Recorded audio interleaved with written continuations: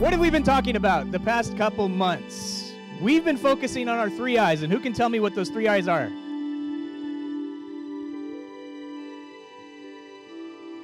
Yes! Good job, guys.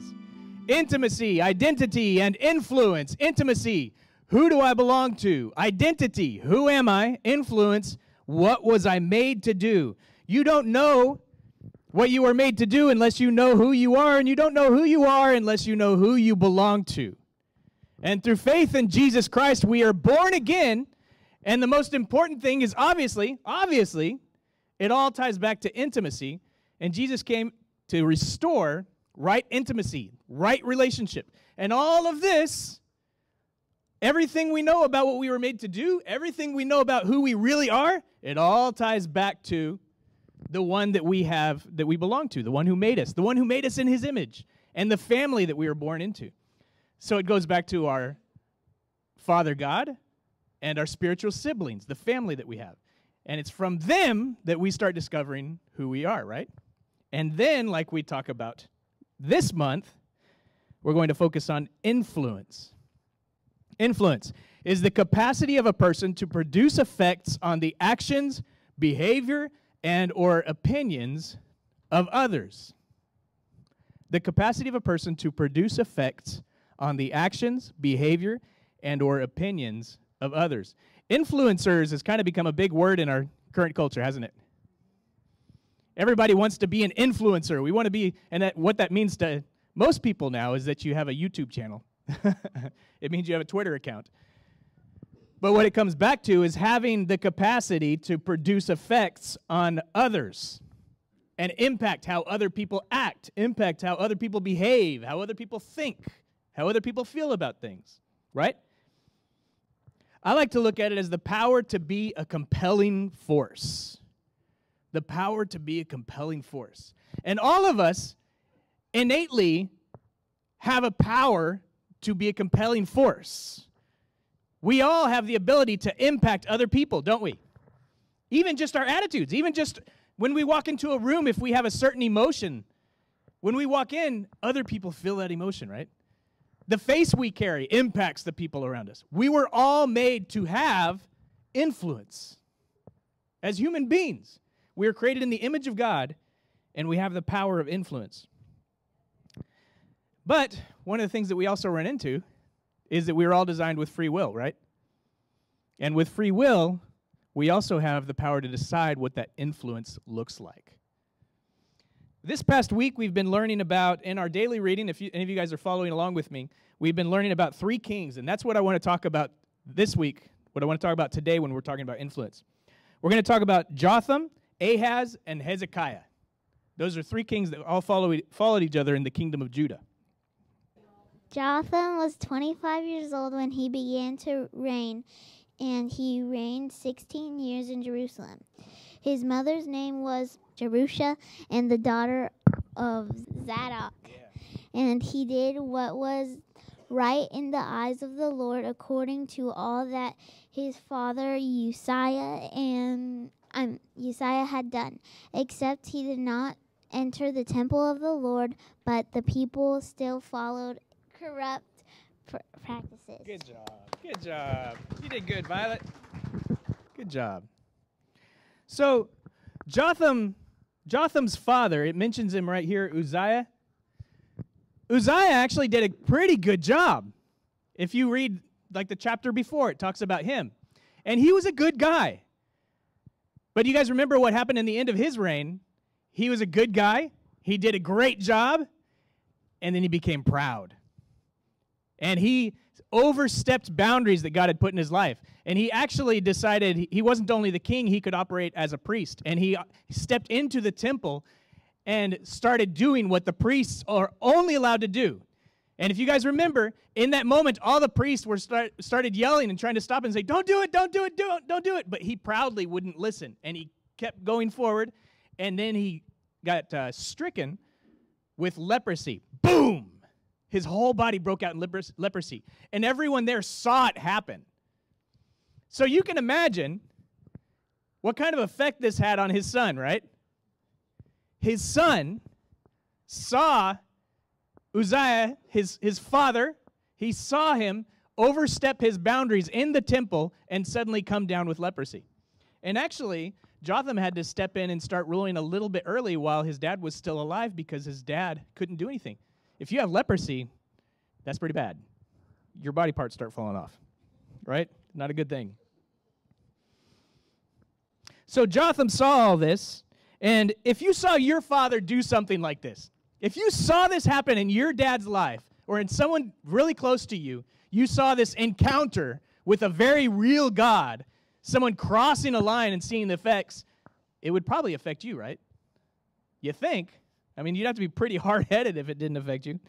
Well, for Jotham, what we saw was that it made him more serious, more careful, more reverent. And we see in Second Chronicles 27 6, so Jotham became mighty because he ordered his ways before the Lord his God. And we're going to take this apart real quick. In the Hebrew, became mighty, it means grew firm and strong. The word ordered means established, fixed, framed. The word ways means path, journey. Before, I like this. Before actually means face. And then Lord, whenever you see Lord, especially if it's all capitals in the Old Testament, it actually it's actually Yahweh. It's the name of God. So we can translate this also as saying Jotham grew firm and strong because he fixed his journey facing Yahweh his God. Jotham, in his influence, in the authority, in the kingdom, in his leadership, it became firm and strong. Why? Because he fixed his journey, his whole life. His whole your life is a journey, correct? You're always moving somewhere, but he fixed his moving somewhere facing God.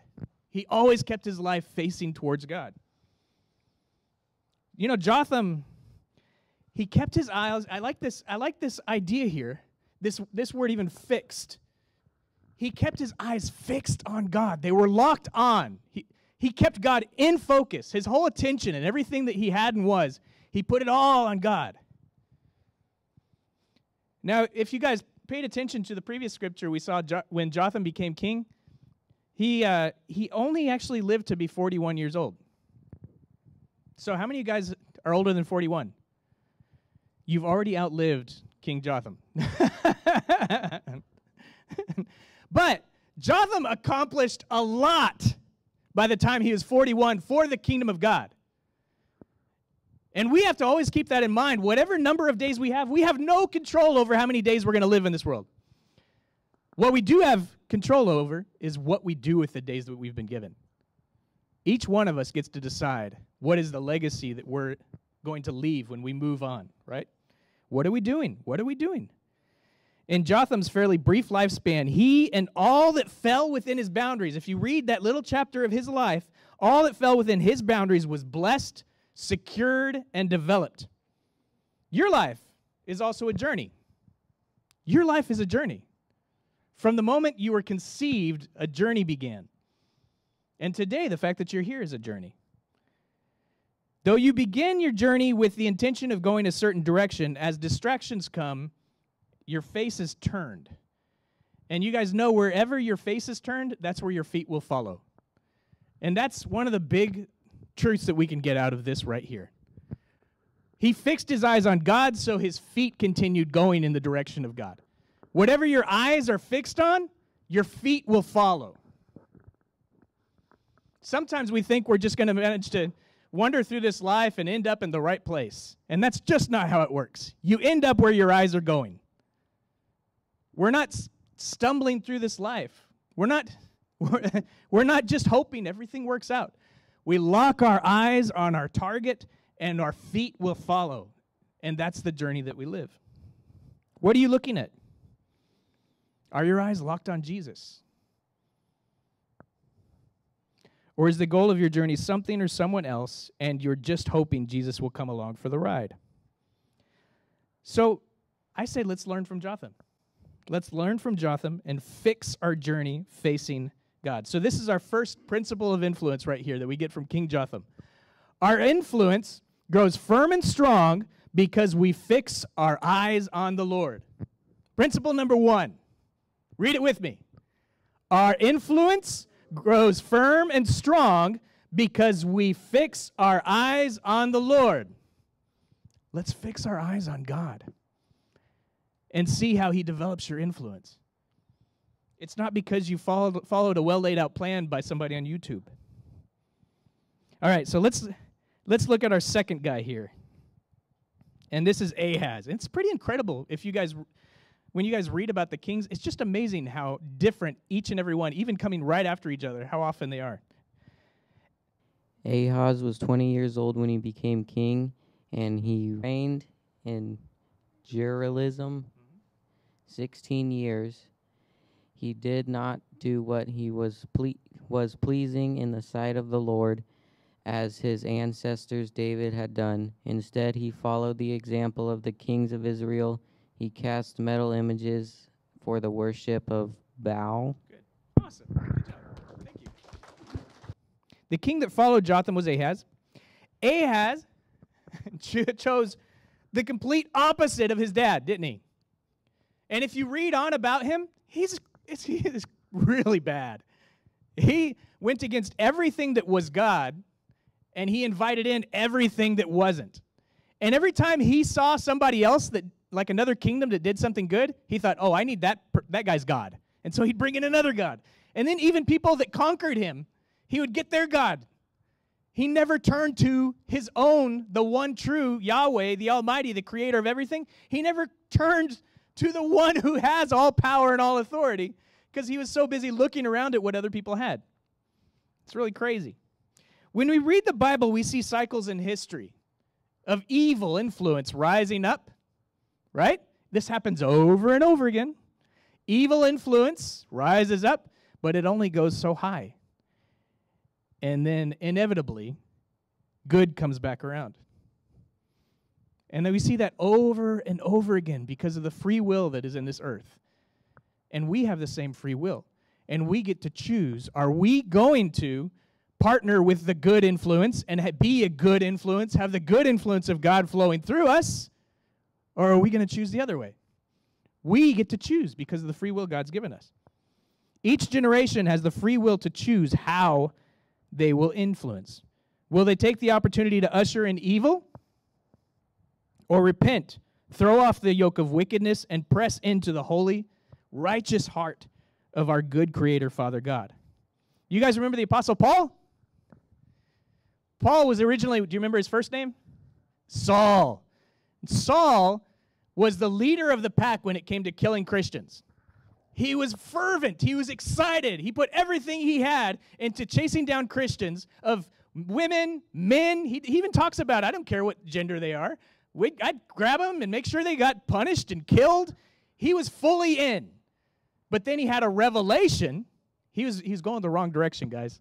Even though he felt really good about it, he was going the wrong direction. But he had a revelation of Jesus Christ, and that moment he embraced Jesus and his life changed. And he became exactly what he'd spent all his previous years trying to kill. He repented and changed his life. We don't see Ahaz do that at all. Ahaz never turns, no matter what comes. Even when, even when the country that he's in charge of is getting conquered, he still turns to the conquering gods to try to figure out what's going, going on instead of turning back to God. It's crazy. But you and I have the same opportunity. You and I, before Jesus, no matter how good we were, no matter how good our intentions were, we were still going the wrong way. But the moment when we have Jesus revealed to us, we have the opportunity to shift 180 degrees and be part of the good side of the cycle and come back. Thank you, Lord, for that. But have no doubt, God will restore justice and goodness. Like the sun rises in the morning, you can count on it, just like you count on the sun coming up. The godly will celebrate in triumph of good or over evil, and the lovers of God will trample the wickedness of the wicked under their feet. Then everyone will say, There is a God who judges the judges, and there is a great re- reward in loving God. Awesome. Will we participate i with those who say there is a God who judges the judges.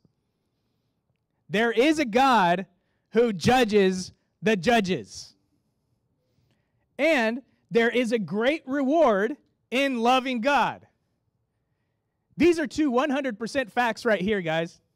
No matter how you try to work it out, there is a God who judges the judges. There is a great reward in loving God. There is, uh, there is a loving God. If I can just get you to take a couple things right here. There is a loving God who judges and rewards. That's what it comes down to. There is a loving God who would love to reward and he judges. Principle number two from King Ahaz we will be judged and rewarded by God according to how we choose to influence. You can't pretend your influence doesn't have follow up. Everything that we do is going to be judged and rewarded. Okay? And that's a wonderful thing. If we're covered by the blood of Jesus, if we're pursuing Him, if we're keeping our eyes and our faces fixed on the Lord, man, can't wait to get those rewards. And we have a whole lot of grace to follow our mistakes. If we don't, judgment is coming. Okay? King Ahaz had led the nation into the depths of depravity and sin. In rejection of the Lord God, he swung open the city gates, literally, to every enemy intention. He surrendered his influence. The kingdom had fallen so low that it seemed like it would never be restored. Read that chapter. I'm sure people were going, there is no way this kingdom can come back from how low we have gone.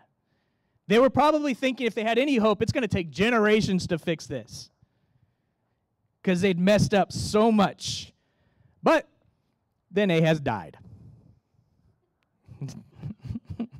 like we said, you only have so long to make to do good or to do evil, really. Then Ahaz died, and and if you guys remember, he wasn't buried with the other kings. He was not buried with the other kings. The people that he led into destruction did not find him worthy to bury with his ancestors.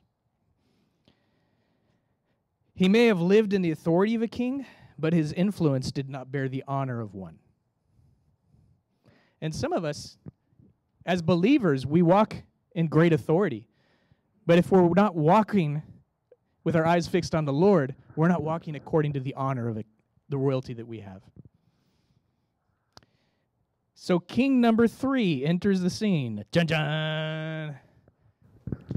Hezekiah began to reign when he was 25 years old, and he reigned 29 years in Jerusalem. His mother's name was Abijah. Abijah, Yeah. the daughter of Ze- Zechariah. Za- oh, pff, Zechariah. And he did not, and he did what was right in the eyes of the Lord, according to all that David his father had done. Good job. Thank you, Sean. Was David Hezekiah's father? Nope. But David was the best king that reigned. And so Hezekiah did good enough that he was he skipped the previous generations and they equated him to David. That's pretty good. That is pretty good. An interesting thing about these three kings, if you guys have been paying attention, you may have noticed that our first king, it mentions who his mama was. And she was the daughter of Zadok. The second king, it didn't mention his mama. The third king, it mentions his mama again. And something very interesting here. I know historically we just do not know which Zechariah this is. Some people think that it was a king of Israel, Zechariah, but he only reigned for six months before his own people executed him. And I don't think that was who this is because he was a terrible person. I think this reference is actually to one of the priests and one of the one of the guys that worked in the temple, okay? And Zadok was a priest too. And what we see here is that they mentioned the mothers of the priests, and these guys actually turned out pretty good, didn't they? Isn't that interesting? These these mamas only have their name mentioned like one time in scripture, but that's one time more than any of us. They had incredible influence. Ahaz's mother, not so much. Both Jotham and Hezekiah had mothers who were daughters of priests. Jotham and Hezekiah had fathers that were kings, but their mothers were priests. And they started their reigns by aligning their hearts with the Lord. Their influence was lined up with the Lord. Ahaz, who did not have a priestly mother, immediately aligned her heart, their his heart, with the sins of Israel. And it's actually written in scripture there. Not about his mother, but how he aligned his heart with the sins of Israel. Mothers are powerful influencers, aren't they? Your mama has some influence. And this gives us our next point that we learn from our queen mothers. never, never, never underestimate the influence you have on those around you. Never, never, never underestimate the influence you have on those around you. Did I say never? Okay, good. You may not be the king, but your influence, your influence through others will raise up or bring down kingdoms. Never think I'm too small. Never think I have no effect. That's a lie from the straight from the devil. You are all kingmakers. Every person in this room is a kingmaker in how you influence the people around you. And in how you influence the people around you, you're raising up Jothams, you're raising up Hezekiahs, or you're raising up Ahaz's. Hezekiah carried the authority of a king and the heart of a priest. At the age of 25, in the first month of his reign, after Ahaz, in the first month of Hezekiah's reign, he changed everything. He put all of his power, all of his energy, he commanded the religious leaders in all the nation to repent, to be purified, and to restore right relationship to the Lord. And it says in Second Chronicles 29 36, and Hezekiah and all the people rejoiced because God had provided for the people, for the thing came about. Say it with me suddenly. Have you ever rejoiced in God suddenly? Yes, we all know the Lord can take his time because he made time. And sometimes he's he's really focused more on our character than the things that we think should happen immediately, right? Sometimes he's building fruit even though we're more focused on something that we want to happen right now.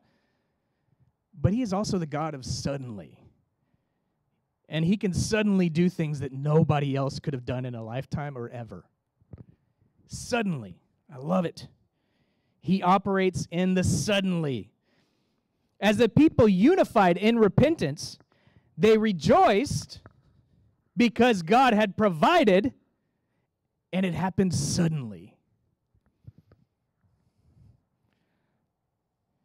God's provision. God suddenly provided for the people in such a way that they all recognized it and they all rejoiced. It wasn't like, well, maybe God did something. No, it was like, whoa, God just did something. And all the people were just, what? Principle number four. When your influence is rightly aligned with the Lord, an atmosphere is cultivated for the suddenly. I'm going to read that one again. When your influence is rightly aligned with the Lord, an atmosphere is cultivated for the suddenly. No situation is hopeless. When we repent and surrender our lives to the Lord. entrusting Jesus, entrusting his crucifixion, entrusting his resurrection, entrusting his ascension, and the fact that he is sitting at the right hand of Father God, entrusting his words that say that I have, Jesus Christ said, all authority in heaven and earth. We are suddenly cleansed and forgiven. We are suddenly reborn as co heirs with Jesus, as sons and daughters of God. We are suddenly authorized as agents of the kingdom of God. We are suddenly the chosen, the elect, and the beloved. We are suddenly seated in the third heaven with our Father God on his holy throne, above all powers, principalities, rulers, and dominions. This right here, all of this happens immediately when you receive Jesus Christ as your Savior and believe that He died on the cross for you, that He rose from the dead, that He ascended, and He is Lord of your life. All of this happens suddenly this is a really great thing. Sako and I talk about this last one a lot, especially recently. how we sit in the third heaven. And we need to remain there because that's already occurred in how we think and how we process. All that suddenly happens in eternity, all of this that we see here, also reverberates in the natural. What is the thing that is coming about suddenly in your life? What is the thing that God is doing suddenly in your life? Are you aligning your influence with the Lord? When the people turned to God, his provision came quickly, but not everyone was ready, right? And this is something that God's really been speaking to me about this week. Not everybody was ready to participate in what God wanted to do. You guys remember who wasn't? The priests and the mockers. so Hezekiah sent out messages to everybody saying, We need to repent.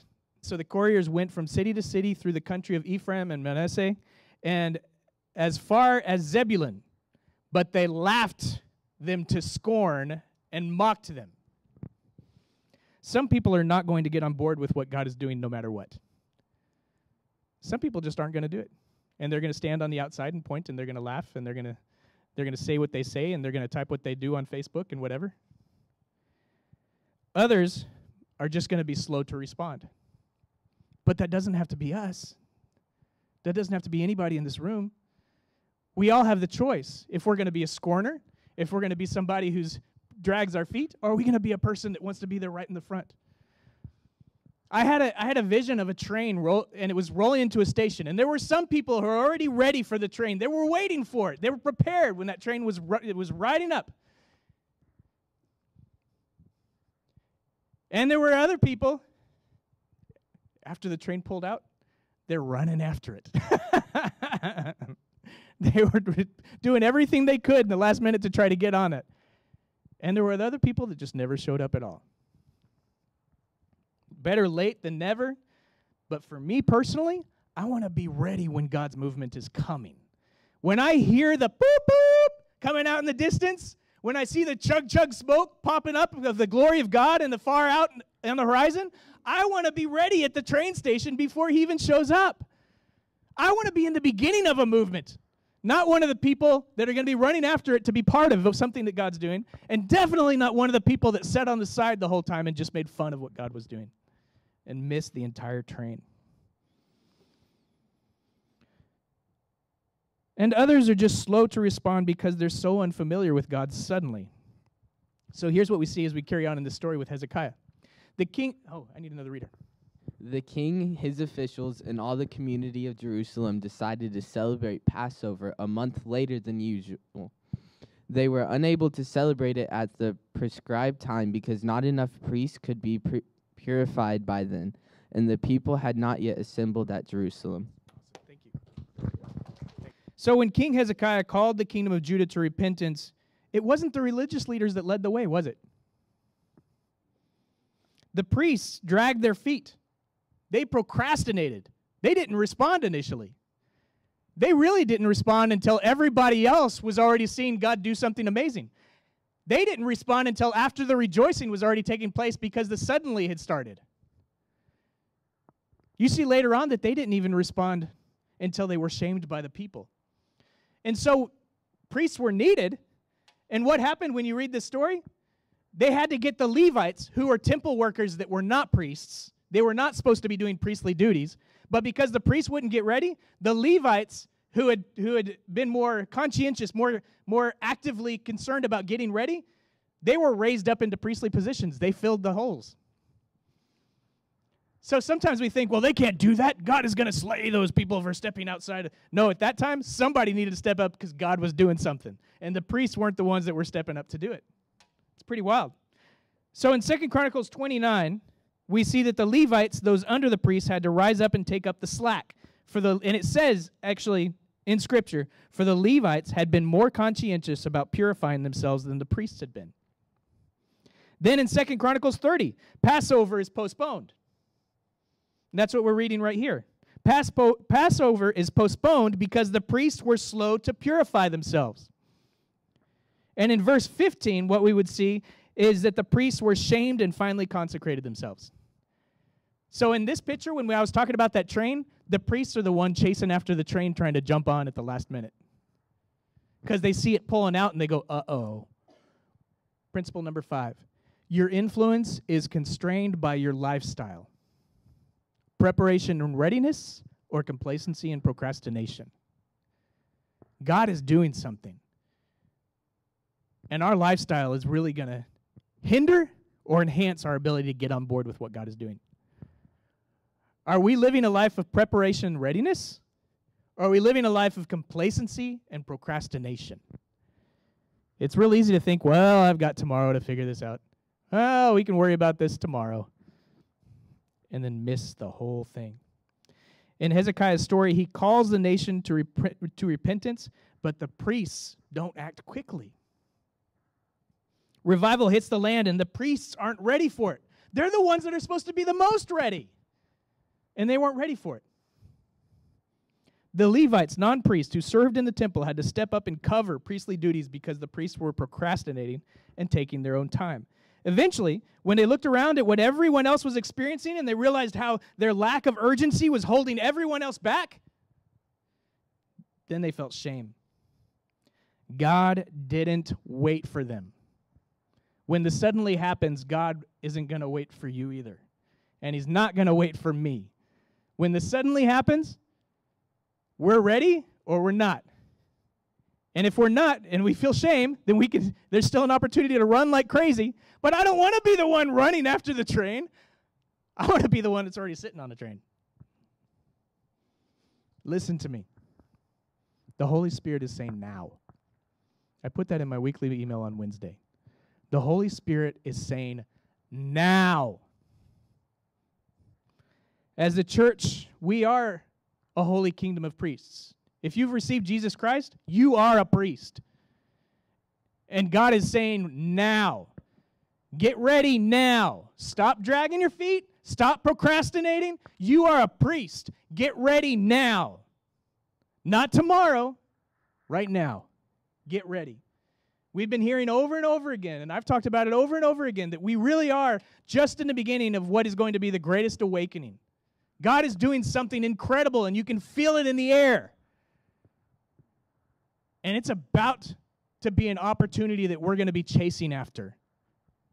Because now is the time to get serious. Do you guys feel it? Do you guys feel it when you're hanging out with God? Do you feel it? There's no more time to put off what the Lord has been telling you to do. There's no more. There's no more time to put it off. There's not another day, there's not another week. There is no more time to procrastinate. There's no such thing as spiritual retirement. There's no longer grace for spiritual meandering and taking your own sweet time.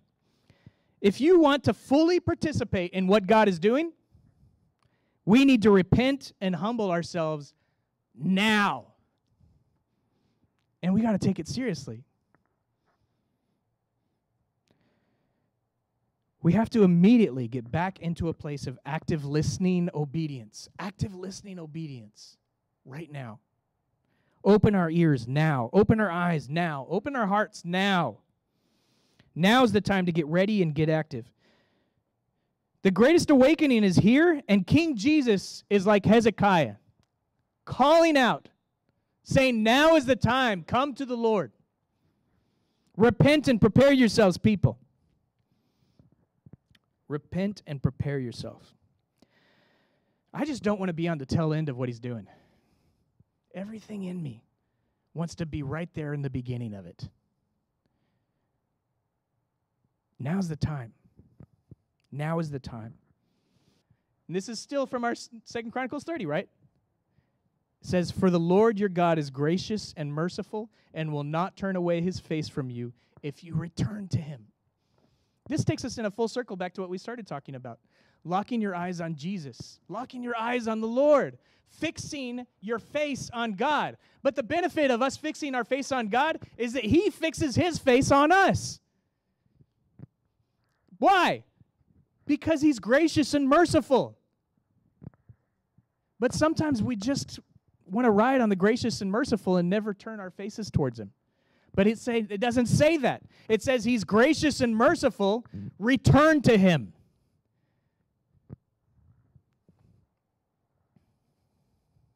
Let's humble ourselves together. Let's direct all of our glory and praise. Let's direct all of our attention. Let's lay all of our lives. Let's put everything that we are down at his feet. Everything. Let's not wait for tomorrow. Let's do it today. Let's make him number one today. Let's give Him every bit of glory today.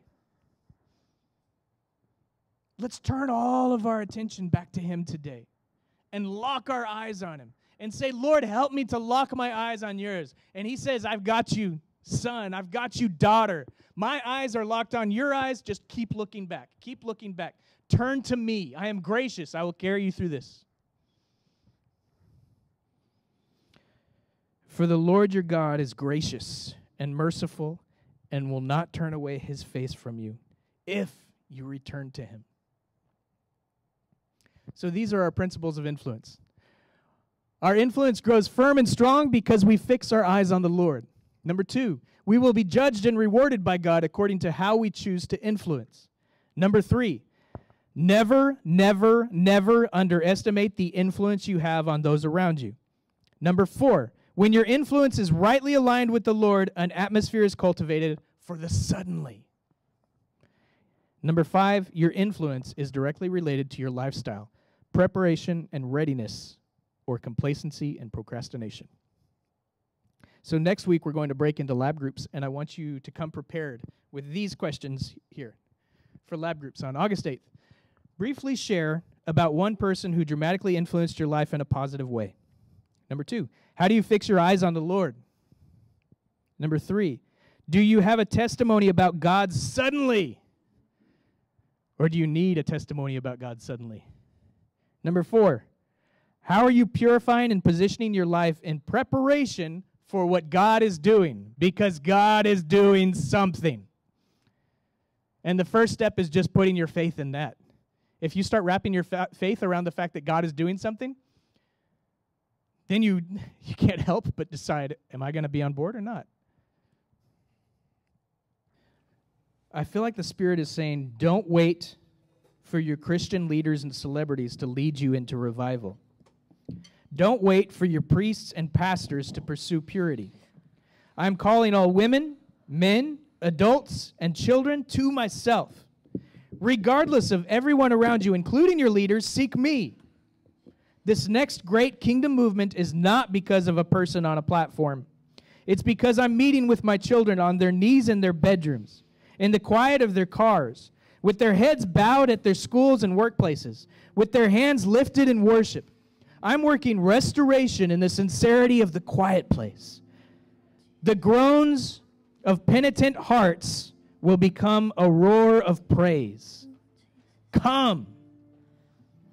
Right now. Come. As we already saw, the Lord your God is gracious, the Lord your God is merciful, and will not turn his face from you if you return to him. Come now. Come now. 100% with everything that you are. Put it all before the Lord. While we're worshiping today, put everything that you are before God.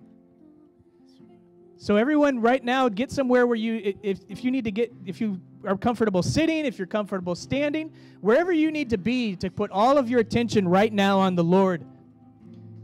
That's what we need to do right now. Thank you, Lord. Thank you, Lord. Thank you, Lord. We are your people. We are your people, God. We love you. We surrender all that we are to you, and we declare you are Lord of our lives. We just want to be involved in everything that you're doing. We want to partner with you as your children.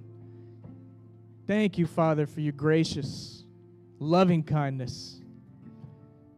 Right now, we repent of everything else that we've chased.